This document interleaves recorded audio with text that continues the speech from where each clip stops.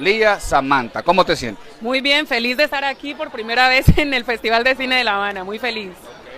Eh, ¿Qué te inspira a diseñar ropa típica cubana?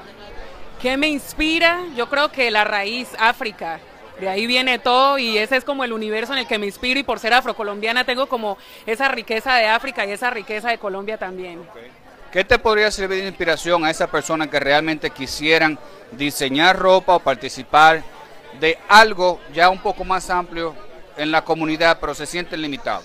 Yo creo que hay que hacerlo como el sol, hay que salir a brillar todos los días, aunque nosotros estamos dormidos. El sol sale todos los días y da unas puestas hermosas y nosotros estamos durmiendo.